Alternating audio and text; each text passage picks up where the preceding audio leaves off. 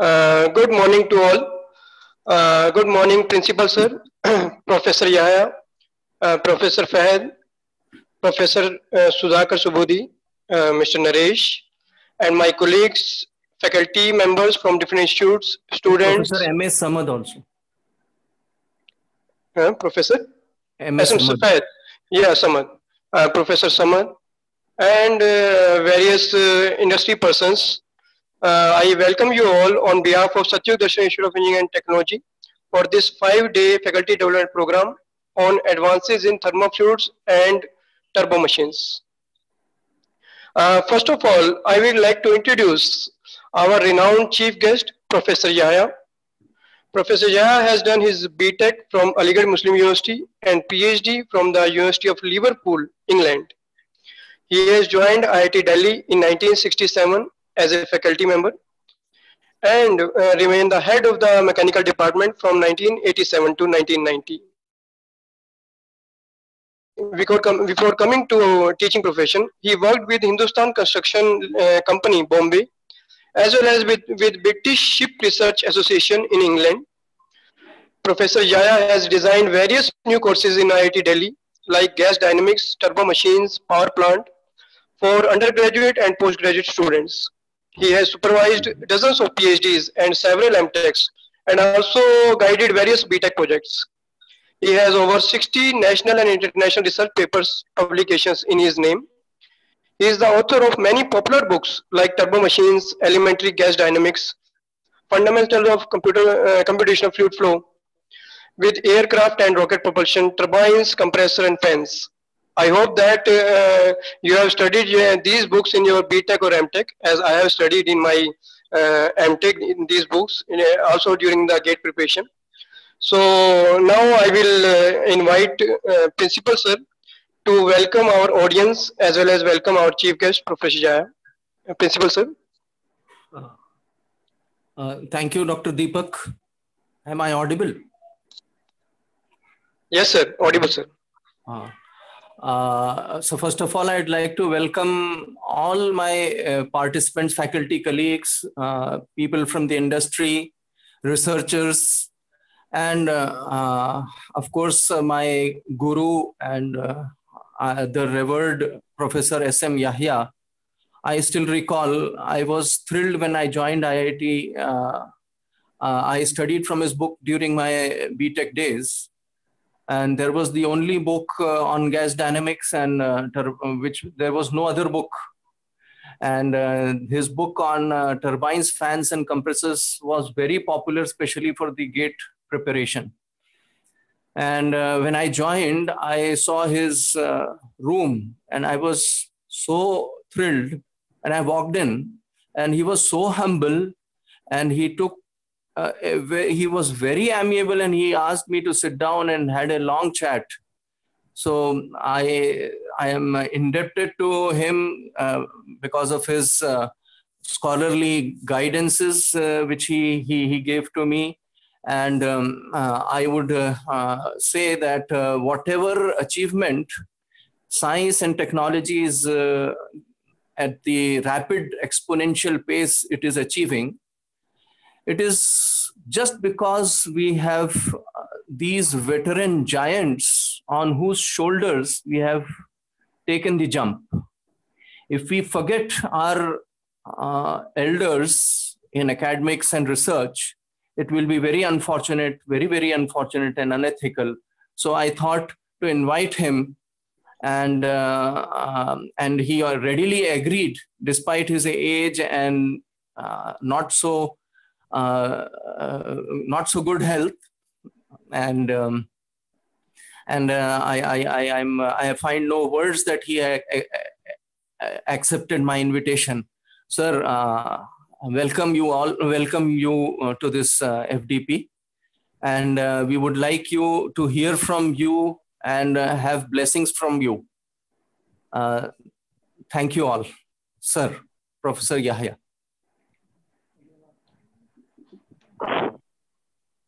Thank you, Dr. Deshmukh and the principal. Good morning to everybody. It's nice that the, the Dr. Deshmukh has arranged this meet on application of fluid dynamics in the design and performance of turbo machines. I'm sure this interaction and cross-fertilization of ideas will benefit everybody. Thank you for coming. Have a nice day.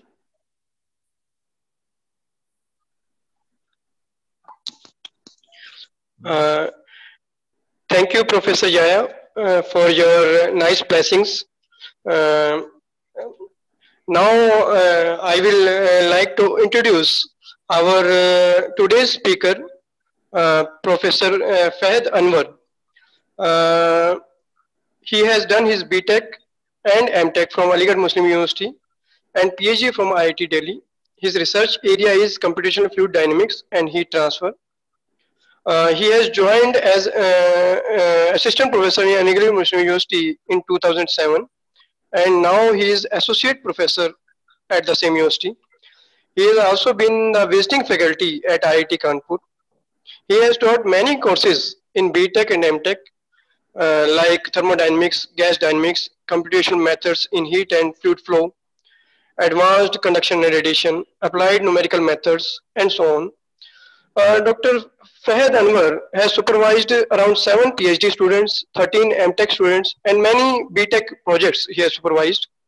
He has more than 50 research publications in various international journals and national and international conferences. He has been awarded with Best Project Award at IIT Delhi.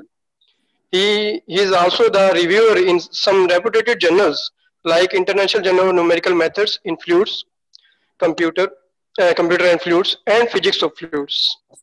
So I request Principal Sir to formally welcome uh, uh, Dr. Uh, Syed Fahad Anwer and also to start the session. Uh, uh, before I uh, formally welcome, I would like to also welcome our able speakers, which will be in the following days who are still present in our meeting here uh, we have chosen uh, stalwarts in their area, um, in the area of uh, both from academia as well as industry. And I hope all of you will enjoy and have a great learning experience. Professor Samad is an expert in marine energy and Professor Subudhi in nanofluids and uh, Professor uh, uh, Fahad in the area of uh, uh, computational fluid dynamics. And uh, we have a turbo machine expert from Siemens here, Professor uh, Naresh. Uh, Mr. Naresh. So I would welcome uh, all of you and thank you all for agreeing to be a part of this five-day FDP. And I, I wish and uh, assure you all that it will be a very intense session, uh, all the sessions, and uh, will be a great learning experience. experience. I now invite Professor Fahad to start with his presentation. Dr. Fahad. Uh, very good. Uh, uh, I need to unmute myself.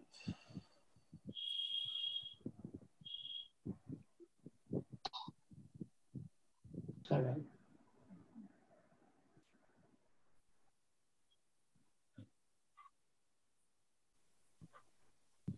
Uh, I I hope I can. I am audible to all.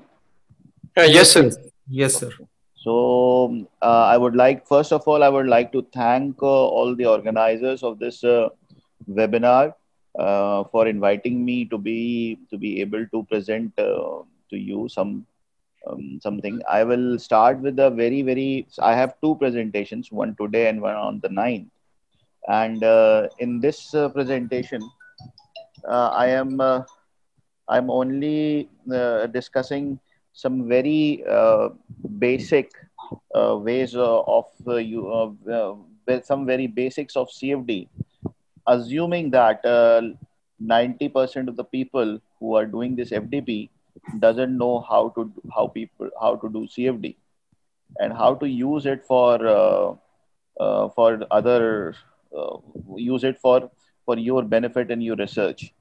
So just I'm trying to, in this presentation today, I am introducing you to the to the mechanism and of using CFD, and plus uh, uh, what are the things which you should take uh, into account when you are using CFD, not blindly as a just a tool for that.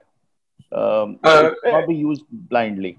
So again, um, I am going to just as the topic suggests, I am only introducing um, introducing computational fluid dynamics. I think uh, then uh, Professor Subudhi and uh, my learned colleague uh, Professor Sam- Samad will be able to take this further and apply to nanofluid dynamics and uh, and uh, turbo machinery and and you can see that how um, those flows what are the important things are there to map to manage in those flows so so first important uh, first thing is you know, first thing we should learn is why what are the different approaches to solve any problem. So any fluid flow problem particularly. So what i think is that there are three approaches which is very much clear to everyone which is experimental theoretical and computational. And you can see that the advantage of using an experimental uh, methodology is that it is capable of uh, being the most realistic. That means you can try to be as close as early as possible. And since you have certain data um, to of measurable quantity you can claim that it is if there is something then it has it has been measured. But again there is the the care lies in carefully designing the experiment where you whatever you perceive uh, uh, should be cover should be there in your uh, in your experimental modeling. So again the problem lies two ways.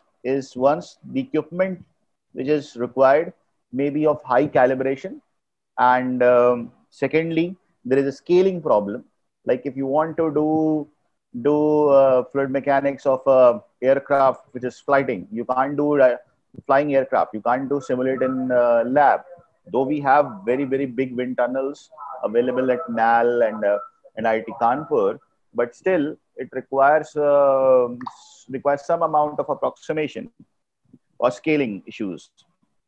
Uh, then there is sometimes there is a difficulty of measuring those quantities. Suppose there is you want to weigh, measure measure the turbulence uh, intensity of a very very small then you need a hot wire cal- calibrator. Now if you have a heated flows then you have to wire use hot wire uh, hot wire, hot wire two hot wires. One for measuring the um, measuring the velocity fluctuation and one for measuring temperature fluctuation which is very difficult. And secondly as i have uh, read in many people uh, many papers uh, that you need also you also need little bit of not little bit of to some uh, very good amount of expertise to extract good data from the from the experiments which is also very difficult. It only comes with the practice.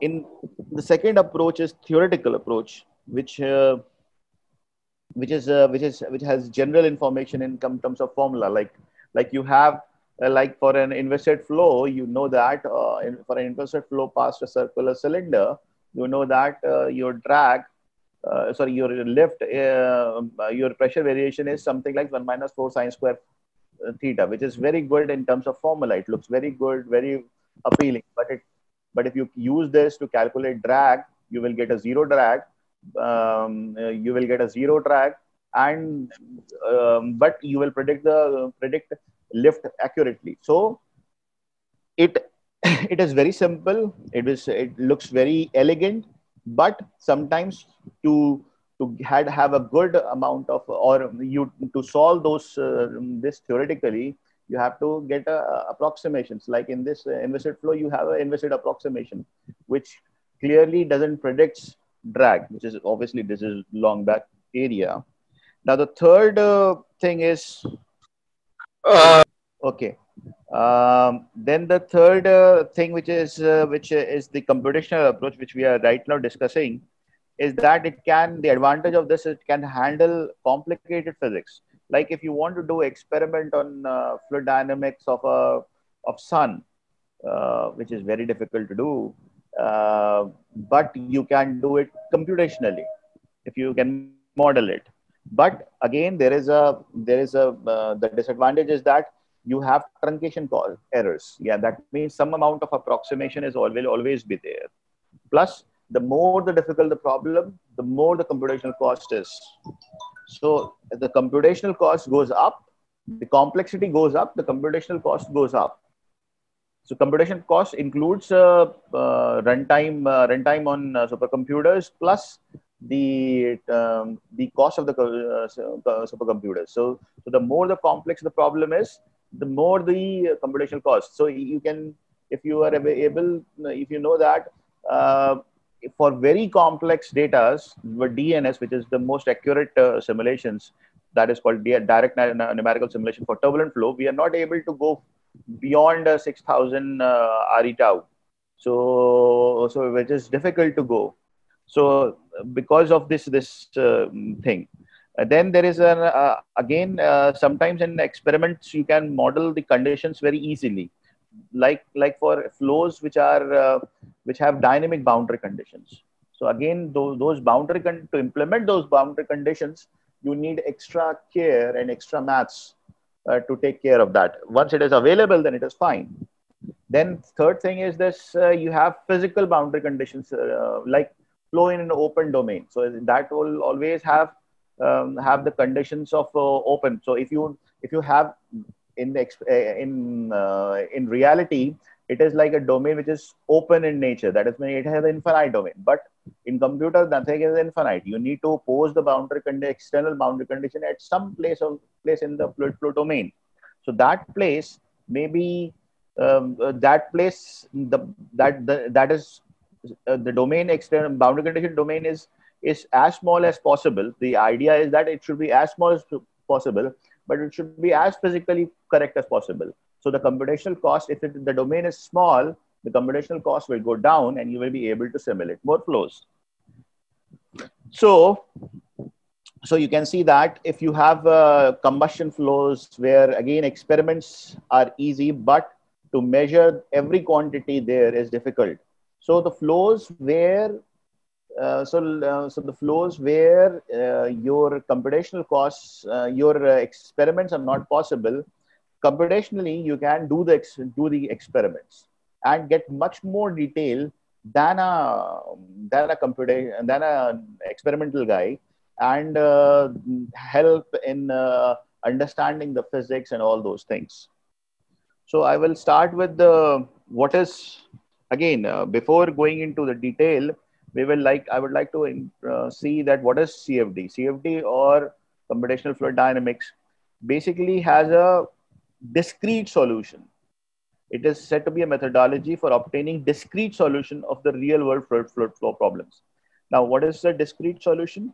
It is that since you don't divide any flow domain into smaller smaller parts the more the smaller the parts um, smaller. So so if we so you have it divided into a smaller part. That is, you have created a mesh, and this mesh. So the so the solution is only available at the nodes, whether it is a cell-centered node or a, or a point a grid node, uh, intersecting node. It isn't. It is the data is only available at the cell nodes. The more they they are close, the more analytical or uh, um, uh, the lesser discrete data is there.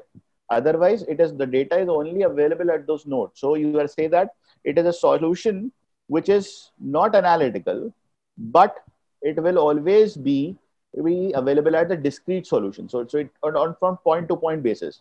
Now, if you do not do the meshing properly, it, that means your your mesh is slightly larger in size. Then, and if you're you are modeling, trying to model some physics which has a lot of um, eddies, and suppose your eddy is inside that uh, inside that uh, inside that uh, mesh the smallest smallest mesh it's, it's it, uh, the, the eddy is smaller than the smallest mesh size then you will miss the data.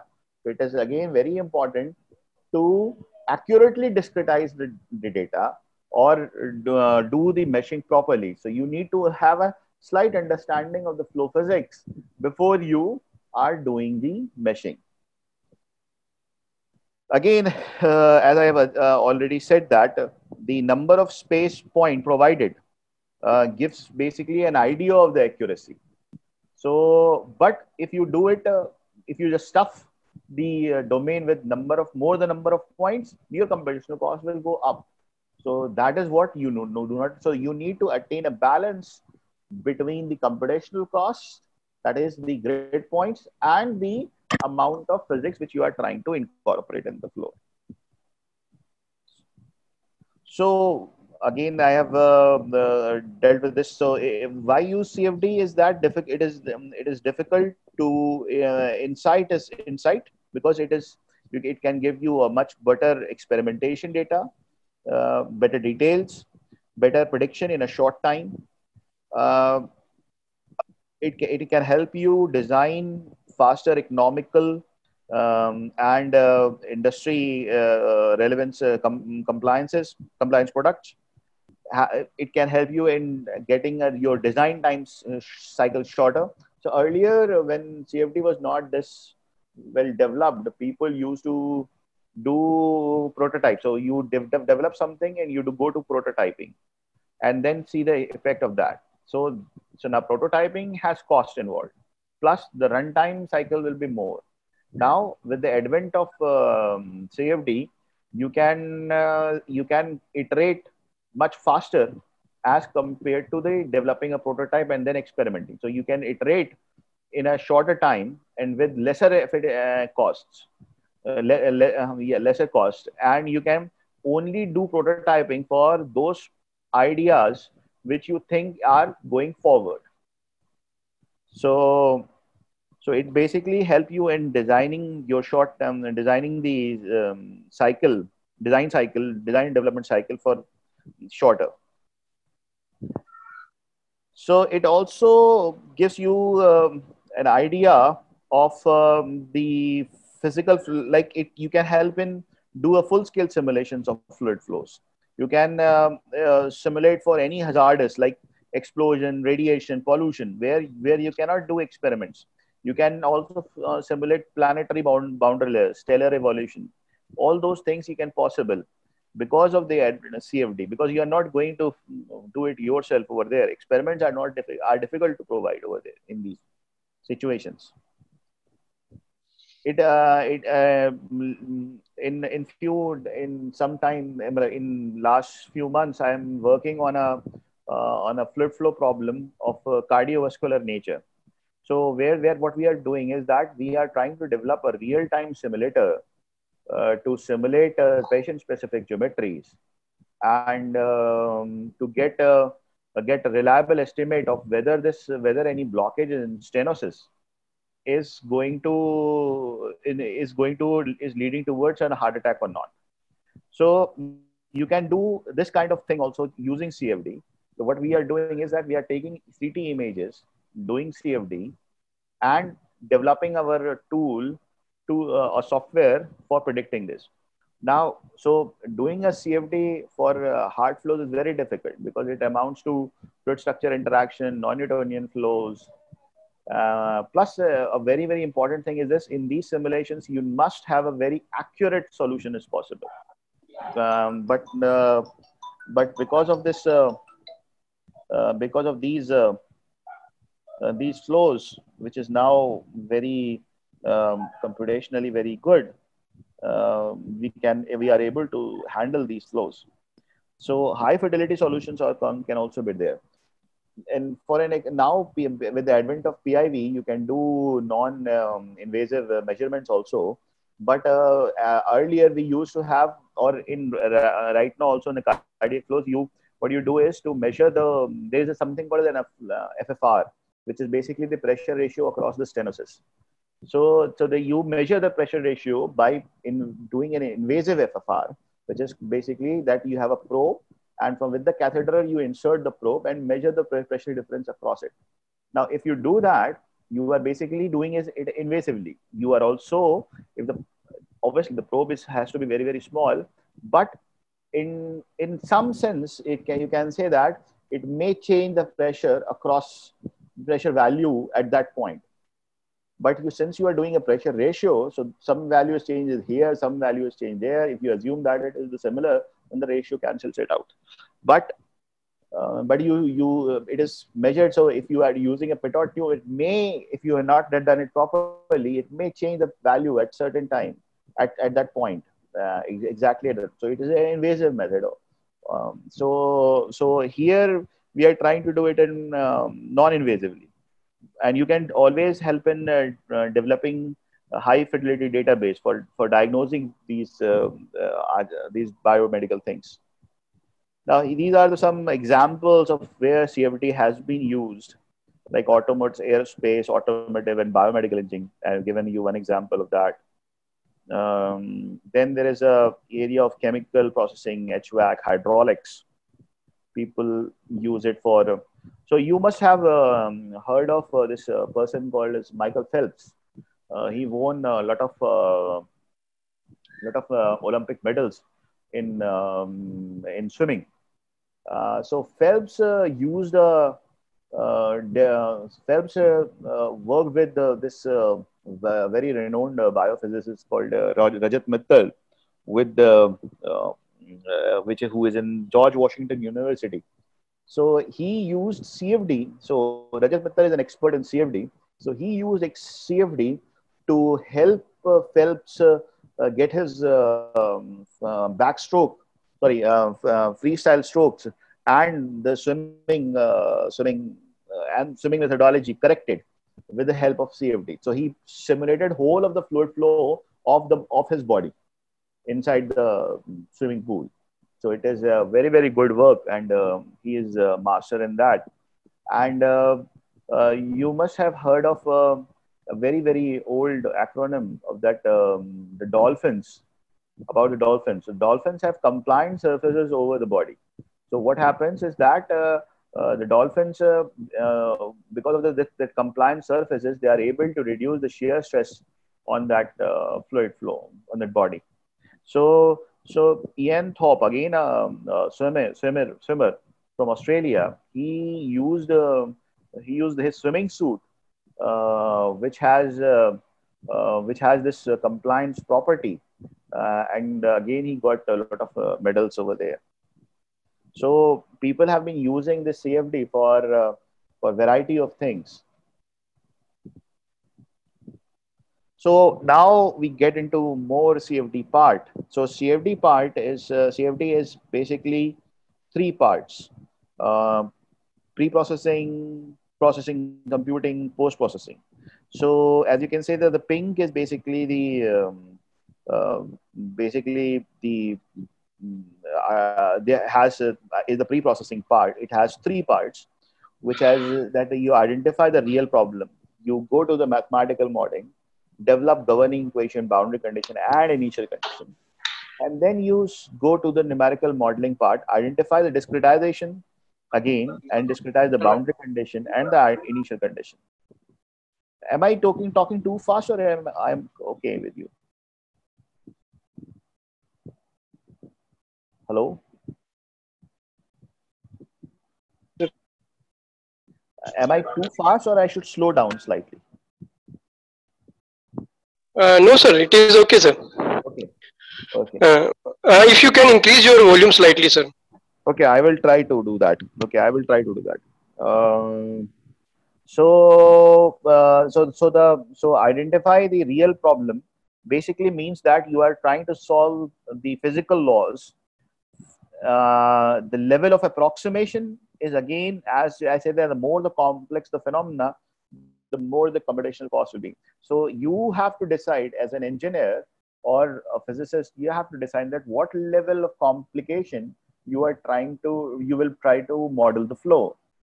Like if you will do in a channel flow with the gravity over there, there is something called as a um, uh, thermocline. So you can, uh, thermocline basically is that um, it hampers the grow, um, uh, the variety of uh, the fluid from going up to the down and down to up. Now, if you do it, uh, you if, if the heating is large, still you get the so then your properties are very functions of uh, uh, your properties, physical properties are functions of space and time uh, because it is function of temperature. Now you can do, you can have the same variation of the thermocline without uh, having incorporate the property variation, but still there. So that means uh, that means that the flow physics sometimes is not affected by this. So to determine which part or which uh, level of uh, which which are the uh, quantities which are in which influence the flow and which are not is again uh, a job uh, a job of the mathematical modeling guy. So the more the time you take in modeling the fluid flow, better would be your solutions. So, so I will suggest you take if you uh, like you do not use uh, any tool, CFD tool as a um, as a, just a black box. You use it uh, with a pinch of salt and uh, the first part, which is the pre-processing part, do it at most care it as, as possible. If you will do a mistake over there and you, when you go to publish, the people will point it out so it is it is from my experience uh, you should try to model physics as closely as possible but be very very careful in in modeling it mathematically. You can solve any problem with the with the variety of methods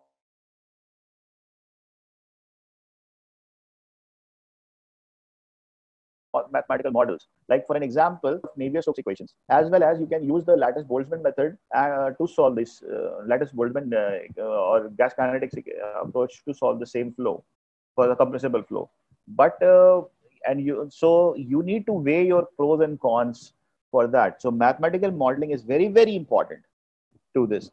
Again, from the compressive from from the uh, from the mathematical model, you derive the numerical methodology which should which can be used for solving this flow so you must be familiar with the with what different methodology does. Like simple scheme uh, can solve uh, transient as well as uh, as well as uh, steady flow simulations so you need to see that which which scheme there there are a lot of schemes for in any in any uh, commercial solver there will be a lot of schemes to choose uh, whether. So you should be able to have idea of all those schemes when where those schemes have been traditionally better or not. So like for an example you have a lot of um, uh, models um, like uh, reynolds stress models or turbulence models uh, in every scheme. So like you have reynolds stress model you have k epsilon model you have Spalada mass model you have k omega model you have uh, les now you should be uh, you should be clever enough to know that which scheme which model performs better in which situation. That is that you will only get through the literature. So you need to learn the literature also. So that whether so ideally when you have a model uh, then you you must see that in which condition the model was designed. Because it, the model will be best when you uh, have this, the similar conditions into the flow so uh, to reading the literature is also very, very important before you solve it. Now, if once you have got this, then you have the solution. There will be a, uh, like if you have n by n grid, then you have n by n uh, system of equations which are you are going to solve. Now, the solution methodology is also very critical because that will determine how, uh, how much computational time you are going to invest in this. Now, again, uh, do not use it as a black black box that whatever people have recommended you are do, just going to put those values in, inside there and solve it. Uh, you should have a very very good idea of like sometimes like for an example sometimes uh, the flow velocities are so small that you if you try to compute the con, uh, continuity flux and all those flux it will be very very easily satisfied but if you use again a normalized mo- mo- mode normalized uh, mode for this then the value will be different. So tolerance how you can try you are calculating your tolerance whether it is a normalized or non-normalized affects the flow. Now and intelligently intelligently some may choose your reference property such that you get a nicer values of uh, flows nicer values of velocities or other things Now, since uh, you are getting nicer values, then by meaning of nicer values, that, that it is of the order of one. So you get a tolerance which is lesser. Now, since you have designed uh, your flow, so tolerance is lesser, so the computational time will be lesser, but you are you, you are getting getting it accurately. Now, again, in commercial CFD solvers, they are all dimensional in nature. They do not do non-dimensional calculation. But uh, I will advise whoever are, uh, are, writing your own codes and doing this problem, do it uh, non-dimensionally. Do not use uh, dimensional calculations because there you have a choice of uh, non, non reference parameters. And if you choose your reference parameter correctly, like for a natural convection, there are two types of scalings available. One is the convective velocity scaling, and one is Rayleigh number based scaling. So if you know, use the Rayleigh number based scaling, you will always get a get a values which are of the order of one. But if you use the convection velocity scaling, you will not get the values of the order of one. So this basically reduces your uh, time. Now, again, uh, the next part is the visualization and post processing. Now here also you need to take very good care of this. Now uh, see, uh, once you have established a flow situation, you need to take a reference or statistical data for uh, analyzing the flow. Now this and a statistical now two if you are doing a transient flow simulations, you can do two types of stepping uh, time stepping. One is the fixed time stepping. One is adaptive time stepping. Now, but when you are trying to take data for the statistics, you can can't uh, take um, adaptive time stepping. That will create a lot of confusion. But what should be the order of that? See, initially sometimes you have a lesser time step, but once the flow is established, you do not need that uh, lesser time step. You can increase your time step to be uh, for a, for a larger time. Uh, so the balance of these these is very again very important because that helps in your lowering your computational cost. And if your computational cost is lowered, your cycle time of uh, simulation is well is is less. So that is also very important, and take care uh, care of that. There are variety of softwares available for post processing, and variety of software available for uh, uh or schemes available for uh, uh, for for processing. Now, if you have a mathematical, uh, uh, again, uh, the mathematical uh, modeling, in case of the mathematical model, it's, it comes to an initial boundary value problem solving. So uh, it is for, uh, I don't know how much people know. So IBVP is just a form of a partial differential equation with the appropriate boundary and initial conditions. Now, mathematical modeling also consists of two parts, which is fluid modeling where you have uh, you decide whether the approach will be continuum or non-continuum the constitutive behavior the bc the initial condition that assumptions involved you know, uh, has to be taken care of then you have a if you have, are doing a uh, in math and then comes geometric modeling where you take care of geometry as well as the coordinate system which we are going to solve. So that the that is uh, again very important part. Sorry. Uh, yeah. So if you are using a fluid modeling, so there are two approaches, again, uh, continuum and non-continuum approaches. So uh, there is a number which is called as the Knudsen number, which is uh, basically the ratio of the mean free path uh, to the length scale uh, import in the flow.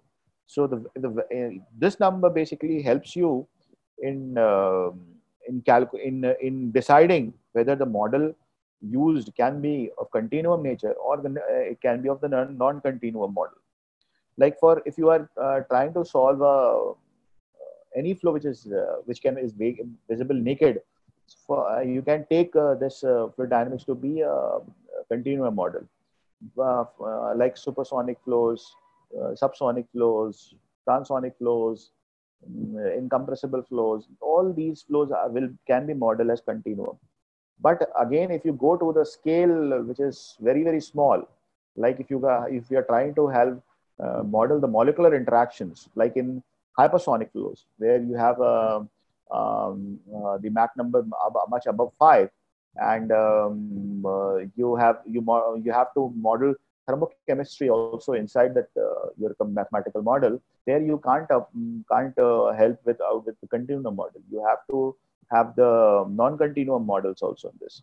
Now there is a uh, also there is a as you as the data suggests that, that there is an overlap region, which is between 0.01 to 0.1, where you can uh, use a continuum approach equations, but the boundary condition would be slightly different. It will uh, you have to use the velocity and temperature jump boundary conditions over there, and uh, so, so, so those velocity and temperature jump boundary conditions will help you in model the non-continuum part and uh, the continuum part like the same equations which are is the Navier-Stokes equation for which the tools are uh, easily available and developed can be used. So that is how you do it uh, the fluid modeling part. Now for an example i have uh, just tried to uh, have a, a more simplified approaches towards here. There you have compressible incompressible. You can uh, model compressible flow as viscous, inviscid. Uh, you can use um, uh, space-time dynamics, and then you can decide whether the fluid you will model it as a laminar or turbulent. Uh, so those things you have to de define, uh, design. Or that is uh, you must have the appropriate, the relevant non-dimensional parameters or of the flow. You when once you decide the non-dimensional parameters of the flow, that will decide the uh, some of the flow conditions. So it is very important for uh, to to have a good mathematical model inside the flow.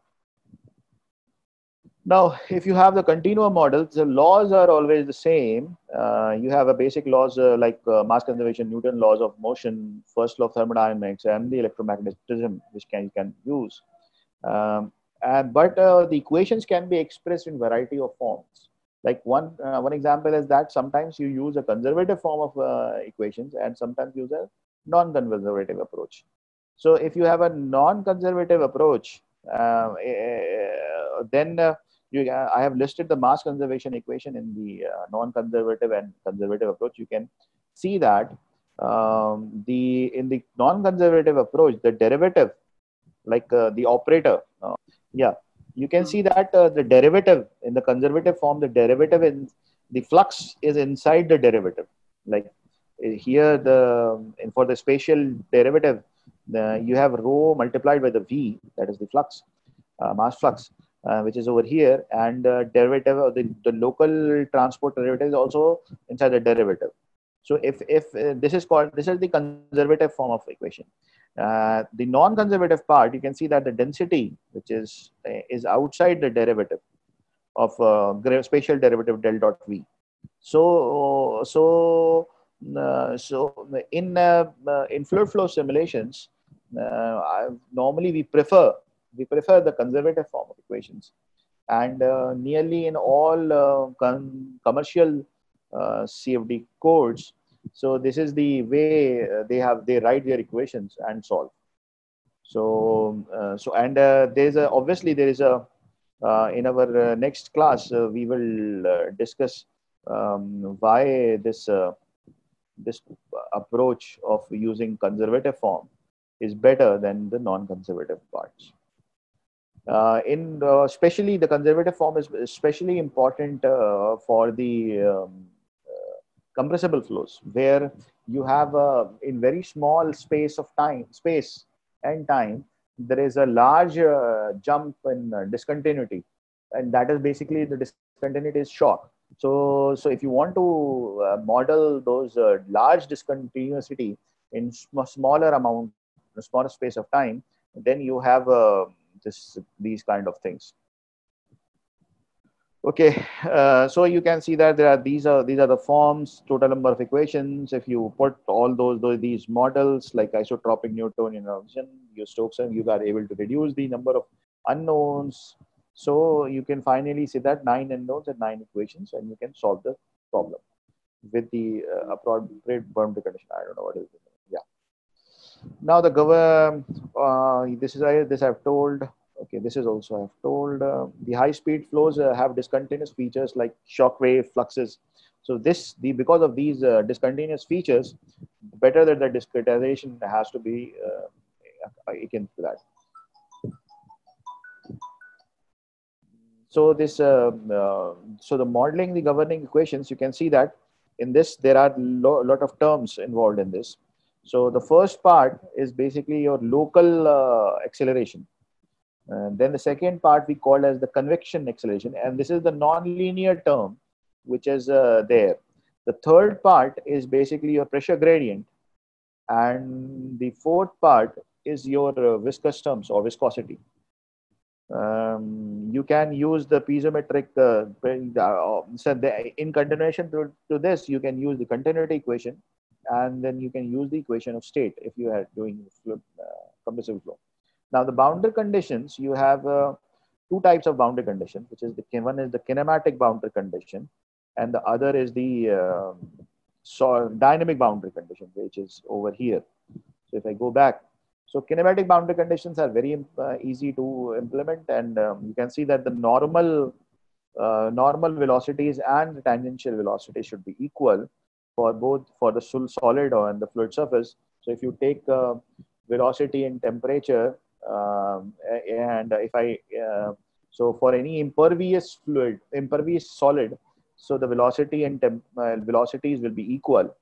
The material on either side will not penetrate, so there is there cannot be a velocity jump across the surface. So the velocities will be equal. Uh, so the normal velocity will be equal. So this is called the no penetration boundary condition. And then you have a no slip boundary. If you have a deforming interface, you can model it like this, uh, which you can see that so, so, so phi is any discontinuous surface. And then you have, you can write it like this, like uh, this, and you can model the uh, deforming interface. If you have a no slip interface, which is will be there you know, every viscous fluid, um, so you can see that the tangential velocity must be equal because of that. So you have a normal velocity kinematic boundary condition has, is uh, is of two types. Uh, one is the uh, no penetration and the no slip. Uh, for and for the deforming interface, you can have to write it like this. The then you have thermal boundary condition. Again, the normal and uh, those things are. Then you have a dynamic boundary condition where the surface is basically uh, dynamic that means surface is changing its shape in time and uh, in shape in this. And then the force are used to model the boundary condition. So you can use the this kind of boundary condition. Now, uh, so if you are trying to use the model of geometries, the simple geometries can be easily created by geometric parameters like circular pipe. So you can use those those parts complex geometries are different, uh, difficult to, use.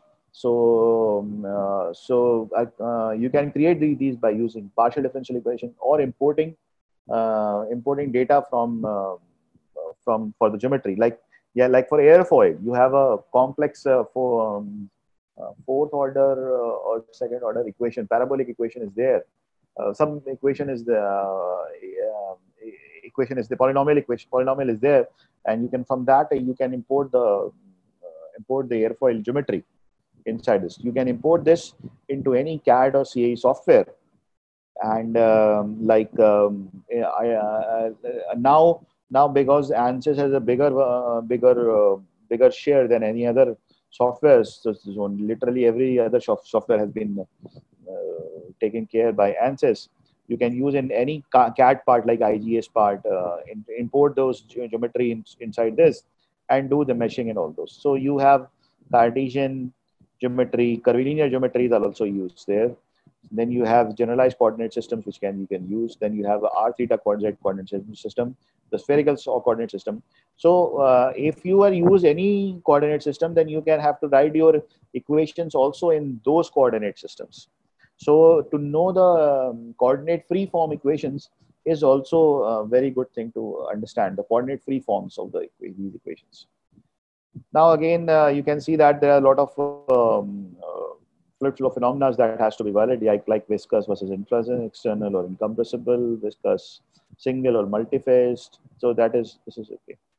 Now the th next is the initial conditions. Why, when are these important? These are important when you have unsteady flows. So unsteady flows, uh, uh, only for unsteady flows, these initial conditions are important um, because it doesn't have uh, un, unsteady flows will have the effect of the initial conditions. So uh, the again, uh, you have to have a, a, reasonable amount of guess to make this initial condition uh, convergent. And uh, obviously, the the farther it is from the real situation, the initial condition is from the real situation, the more time it will take the um, transient parts to settle down. And the, if the transient parts are uh, parts will take large time to settle down, it will take large time to uh, to simulate uh, the flow also. So that is that will be a difficult thing to do. Again, boundary boundary conditions. Uh, so those were, were the kinematic part. But apart from that, there are a lot of uh, uh, boundary conditions which are available in the softwares, which is like velocity inlet, uh, mass flow inlet, constant pressure, and outlet. There are a lot of outlet conditions are there. Constant pressure, uh, velocity, zero gradient. Then you have a pressure outlet. Uh, such as uh, so pressure so and there's a symmetry conditions also so i have given an example that suppose you have a pipe uh, and you're trying to simulate this uh, you can use the axisymmetric uh, part. Um, the center line has to be isosymmetric. And if you're using r theta coordinates, this is very important because and uh, once you have using symmetry, your boundary condition at r is equal to zero is not there. So that is uh, where the, if you use a um, spherical uh, cylindrical coordinate system, r is equal to zero is a non is a singularity. So so that is also difficult to simulate, and you have methods to simulate uh, the uh, these parts. Uh, plus, um, you have some certain velocity inlet, so you have a velocity equal to certain value, and but v velocity is zero. Then you have an outlet pressure outlet condition where you specify some pressure over there. Now, uh, in the problem with the with with the again, the care has to be taken because if you using symmetry, you know that the flow will be geometric similar but you do not know that uh, flow will be uh, is the geometry similar the geometric similarity is there and because of that you are using the axisymmetric condition but you you are assuming a priori that there will be no asymmetry symmetry across uh, r is equal to 0 sometimes there may be but if uh, and if uh, you are using certain like temperature boundary conditions and uh, like lower part in your part of the cylinder you heat and the upper upper part of the cylinder you cool then you are creating asymmetry in the boundary conditions. So then you cannot use the axisymmetric conditions in uh, here. So the choice of again the boundary conditions is very important. Now, uh, suppose you are trying to model uh, uh turbulent flow in a pipe. Uh, people uh, people do it um, by using since so, so, the developing turbulent flow develops in a long time. So it, it takes a lot of computational power, it will take a lot of computational power if you start developing from start to the end. Um, so the fully developed region comes after very late, but you can enforce the fully developed conditions and use the periodic boundary conditions and shorter the domain. That is how normally periodic flow, turbulent flows are done. Uh, but if you are trying to, so then you, you cannot investigate the transitionary flows. But if you want to investigate the transition flows, then you need to simulate the whole pipe and that will take a lot of computational power over there so this is very difficult so again there is a trade-off so selection of models so this this is this particularly uh, refers to the see which part of the equations are important and in which uh, which equations so if you have a viscous and inviscid flow then the reynolds number is important uh, if you have turbulent and laminar flow then turbulent models have to be taken care of so that is there. Uh, if you have in, inviscid uh, versus compressible flow, then Mach number will be will be the relevant parameter, and the equation of state has to be added. Uh, if you are using single versus multi-flow, uh, single and uh, multi-flow, multi-flow uh, simulations, then cavitation number and the two fluid model has to be taken care of. if you have use using thermal and density gradients inside the flow, then energy equation has to be taken care where Prandtl number, gravity is important, Grashof number is, uh, is important, Eckert number is also important sometimes. If you are modeling free surface flow, uh, then Froude number is very important. Again, uh, since it is a free surface flow, the, the top, the surface, which is the boundary condition, is basically moving. So if it is moving, then you need to use a surface tracking model. So you have to track that surface. And for that, some people use a level set Uh, if you are using uh, trying to simulate bubble dynamics also, then Weber number is important and uh, level set is again used. If you are using modeling combustion flows, uh, then chemical reactions have to be taken care of. So again, the modeling part. Now, if you are using turbulent flow flows, then DNS uh, that is most accurate, but it's, it's too expensive to solve.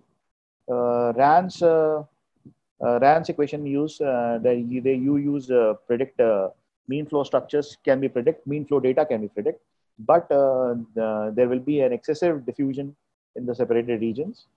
LES uh, you use uh, uh, is good, but again it is uh, it is you only model the lows. you model the lows, low, low, smaller frequency flows, smaller wavelength flows like eddies, which are which is if, if it is smaller than the grid size, they can they they cannot be modeled inside the LES. You, you are mod using model for, the, for those, those parts. Uh, it is uh, lesser accurate than, uh, so the most accurate is DNS. Then there is LES and DLS. Yes, and the least accurate is RANS. Um, so now these are some examples of this flows. Uh, these are by my own computations. Uh, you can see that one is the stenotic flow where the upper uh, it was the non-Newtonian flows and the lower one is the non-Newtonian flows. Then there is a uh, chan flow between uh, by between channels. So these are iso uh, surfaces of uh, Q and H. for um, Q is the um, vorticity part and helicity uh, part and the, you can see that uh, and the, this is for very large uh, temperature gradient flows then the, another example is there for um, nanofluids, which I modeled uh, flows uh, um, uh, inside an ellipse. ellipse there is a flow of ellipse, and across that there is a larger cylinder over there, which is generating motion. Then the example is the fluid structure interaction or vortex induced vibration of a square cylinder. We have solved in our lab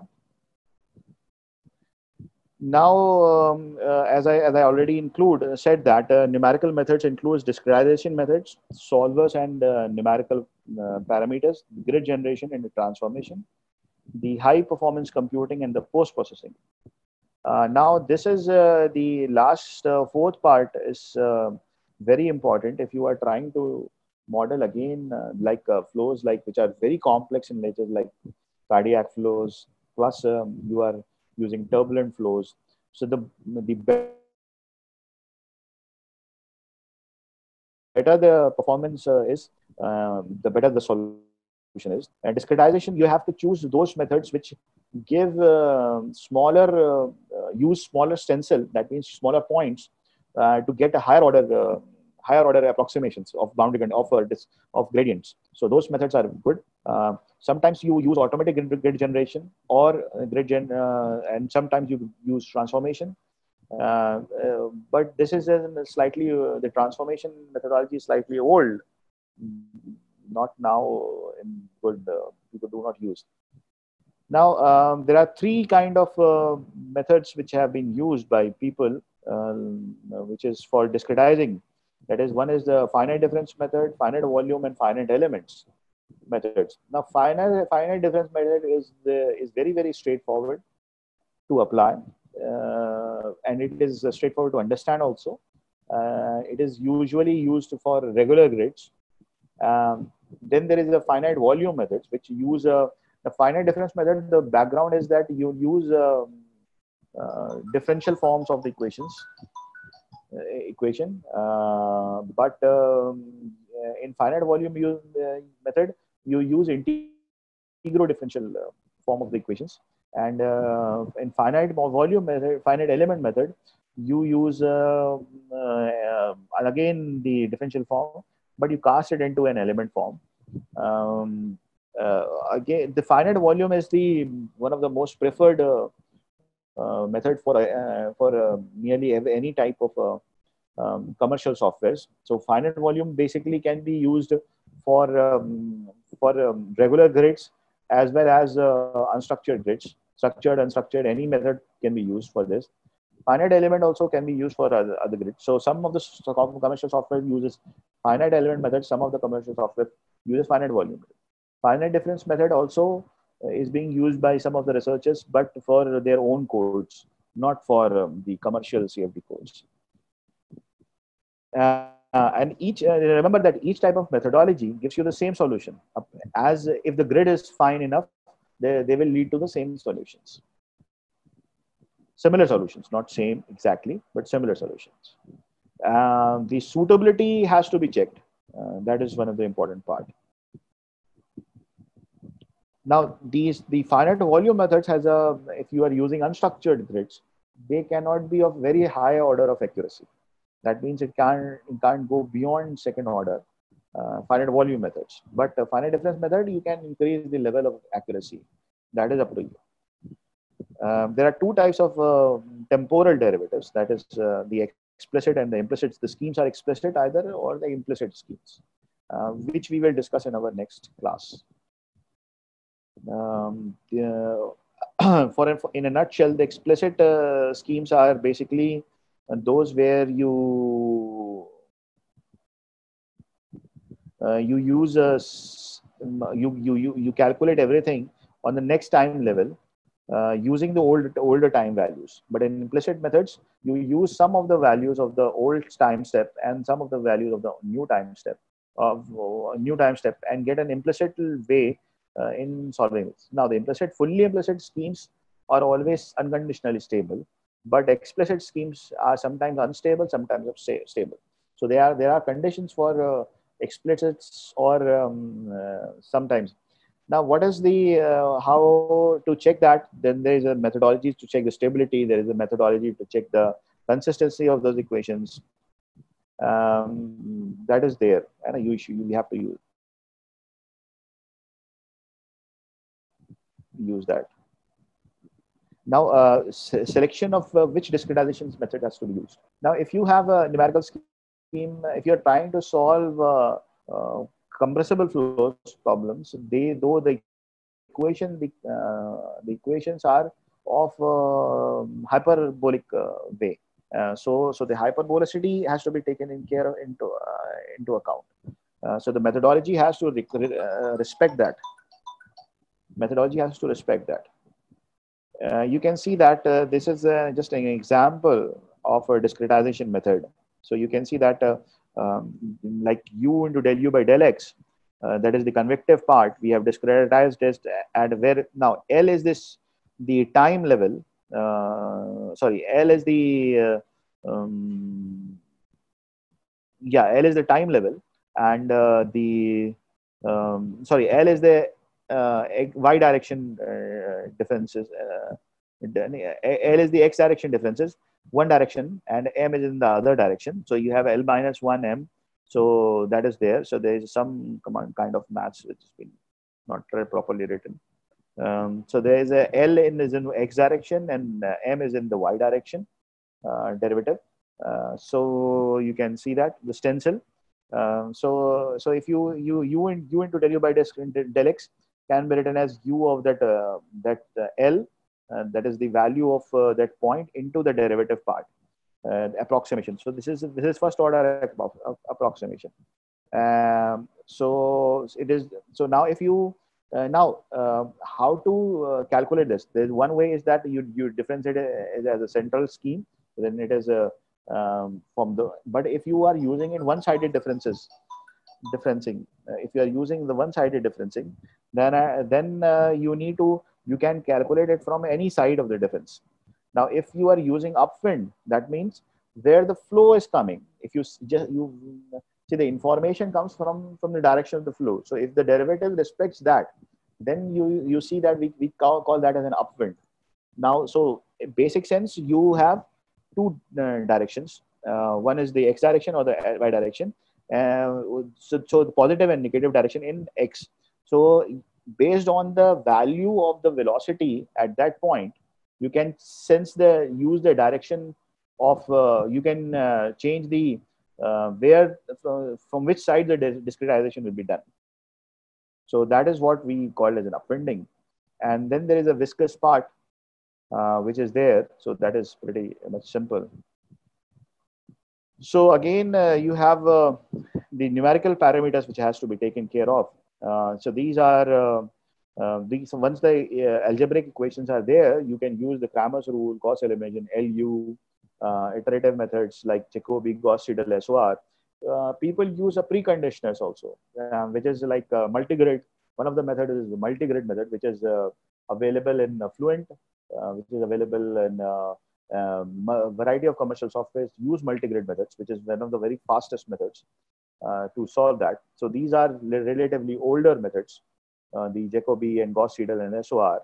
But they, if they are combined with the this method, uh, this uh, multigrid, uh, so pre, multigrid is a precondition which fasts the solution of this. It is very good. Uh, so we, we use that.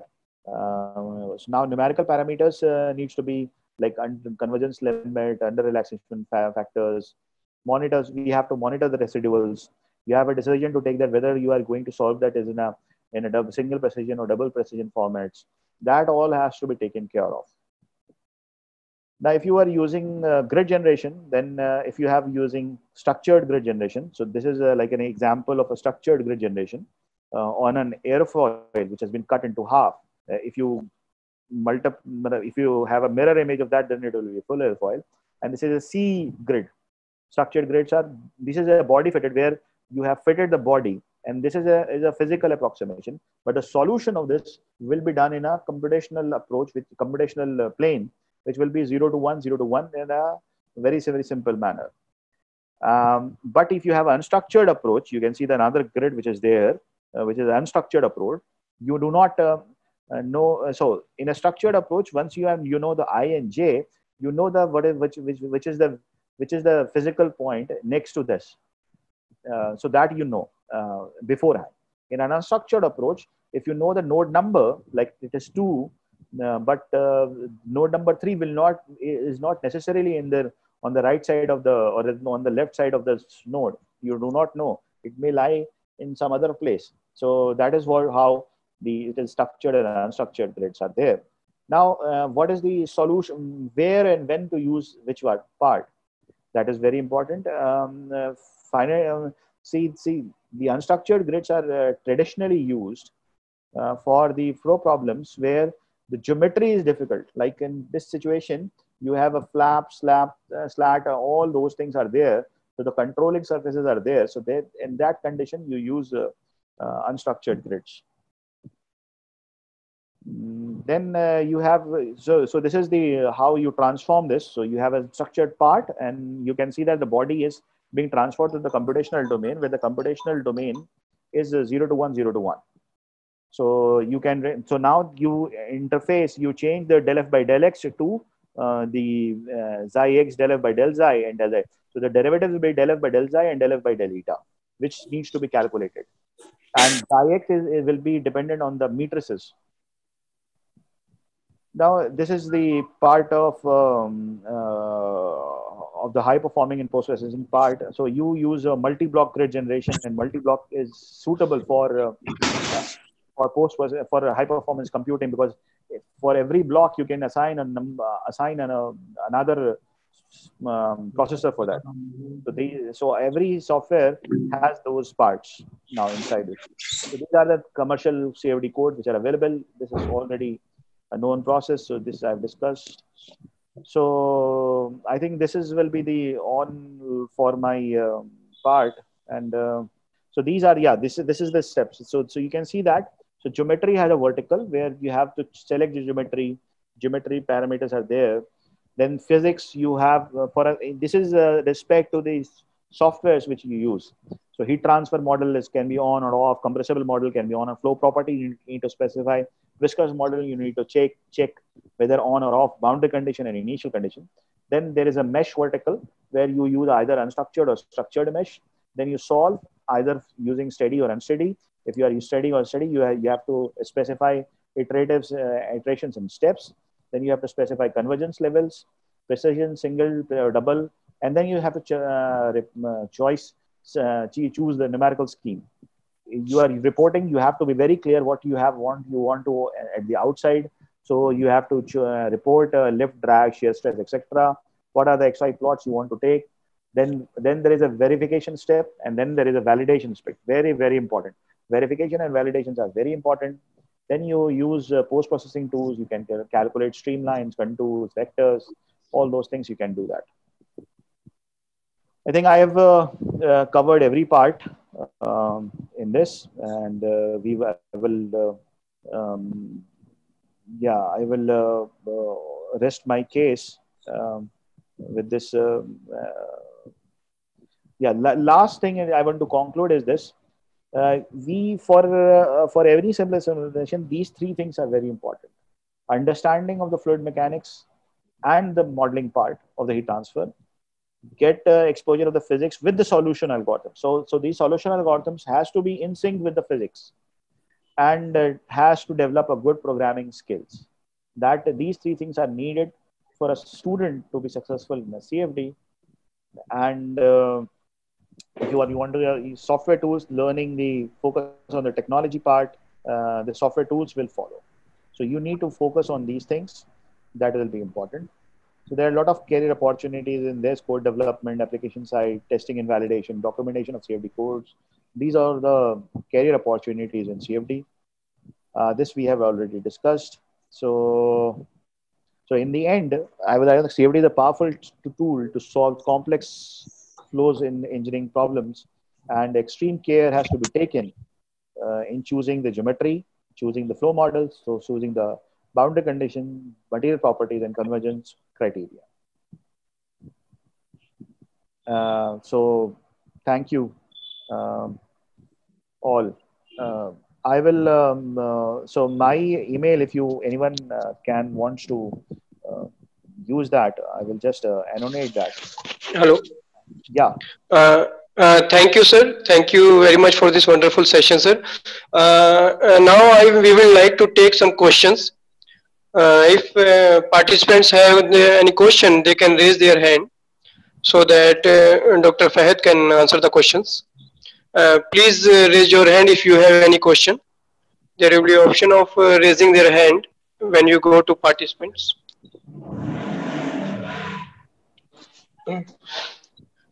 If you have any question, you can raise your hand. Uh, on the right side, more is there. You, you click um, and yeah. there is in participant list you can go to your name. And when you click your name there will be the option of raising your hand.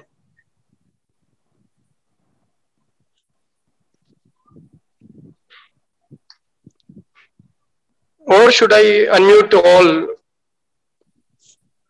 Uh, I think uh, if uh, I, my email is there, if anybody wants uh, to write, there it, is uh, there is Dr. Anwar. Uh, he want to ask some question. Dr. Anwar. Yeah. Dr. Anwar, you can unmute yourself. Dr. Anwar, you can unmute yourself. Uh, Dr. Anwar. Uh, there is an option of unmuting yourself. Uh, I have unmute you, uh, but you have to unmute yours on your side. Uh, Dr. Anwar. Okay. okay. Hello, everyone. hello, sir. Uh, I want to know about the software tools, name of the software tools. Uh, there is ANSYS Fluent, there is ANSYS CFX, there is OpenFOAM. I forgot to mention that uh, OpenFOAM. It is very good software. Uh, okay. There is a OpenFOAM is uh, for Linux uh, OS. Uh, you can use that, and it is very good. It has give. see the problem with the other CFX ANSYS, they they don't give a lot of control to the user. But in OpenFOAM, you have a lot of control to use and uh, it is a very good software so you can use uh, OpenFOAM for that. Okay okay, okay. thanks. Uh, again the, the choice of uh, software is also dependent on uh, what type of flow problems you are using. This COMSOL is also there so it is very good for multi-physics part. Okay thanks. Uh, thank you sir. Any other who want to ask any question and they can raise their hand or put in chat box. Uh, I can answer through chat box. Uh, I can means uh, question. I can read the question through chat box if they have any question. Uh, feedback form link is sent to your chat box. now you can uh, fill the form. And if you have any question, uh, you can ask through chat box or you can ask through raising the hand. Uh, Mr. Rakesh, Rakesh want to ask some question. Rakesh, unmute yourself. Rakesh. Yes, sir. Hmm. Now you can ask question if you have any question. Sir, first of all, good morning, sir. Morning. Good morning. Sir, actually, I want to ask the, what is the basic need of CFD that uh, you have um, mentioned earlier, CFD. What is the basic need of it?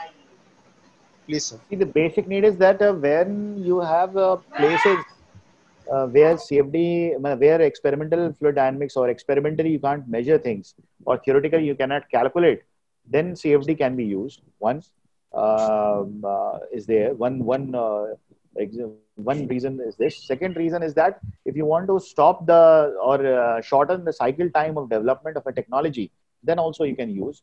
In uh, India right now, G is using, Cummins is using CFD, Mahindra is using, Maruti is using.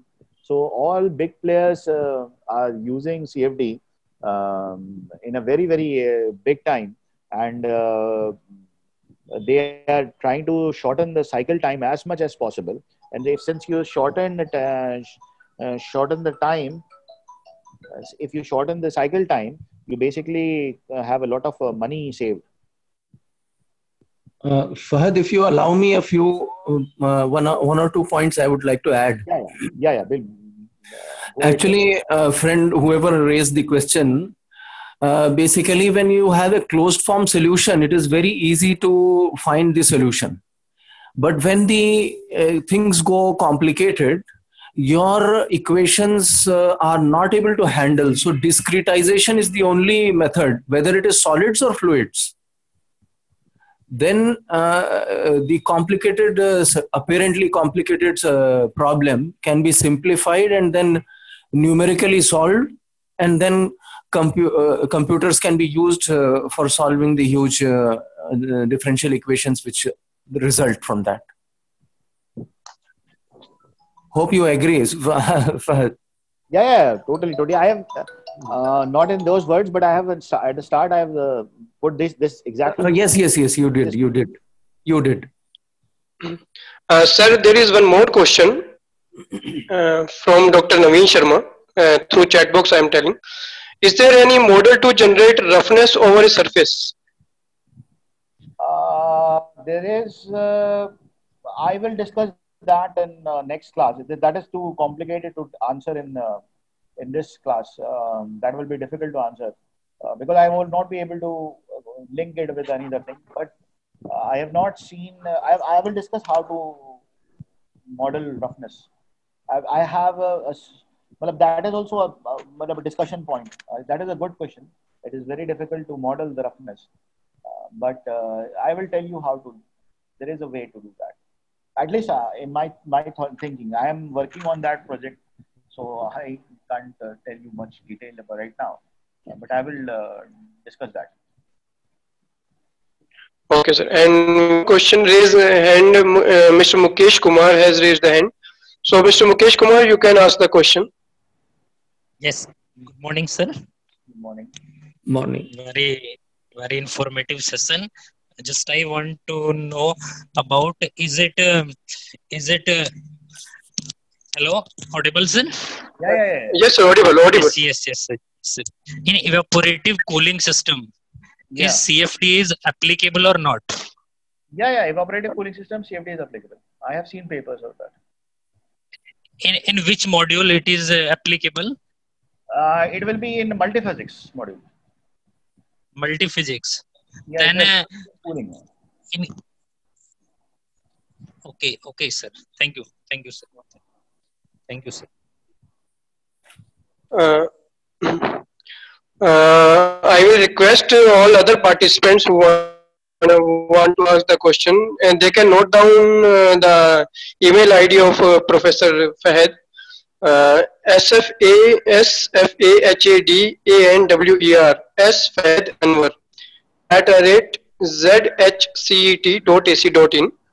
Uh, please note down the email ID. You can ask your queries to Professor Fahad and uh, he will answer uh, your uh, answer questions individually to you.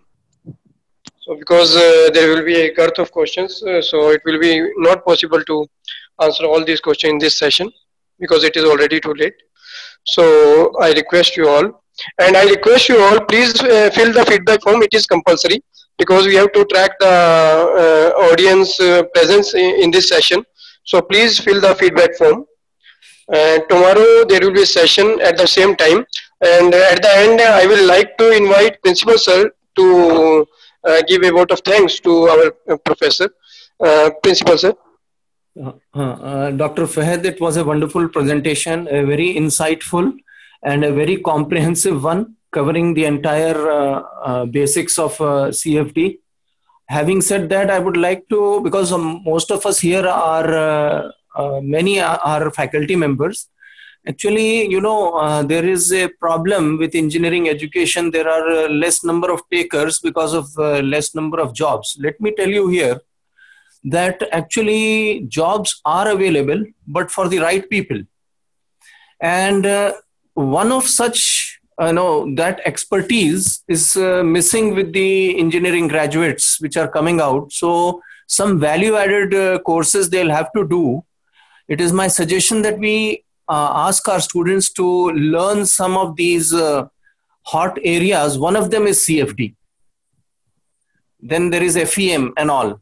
So if you are, even if you are uh, you know there is one block or one section of the jobs available in uh, students which are conversant with the various uh, softwares which professor fahad uh, just now told. And there is one more section uh, when you are able to write codes for the specific physical phenomenon. So, uh, like if you want to go and join G research or some R&D company, then you have to go for a one step higher. So um, that was one of the things uh, uh, so let us introduce our students to uh, these value added uh, courses on cfd and fem uh, with that i will not take much time and i thank uh, professor fahad again and thank you all for your presence. And we'll see you tomorrow. And thank you. Thank you all. Thank, thank you dr fahad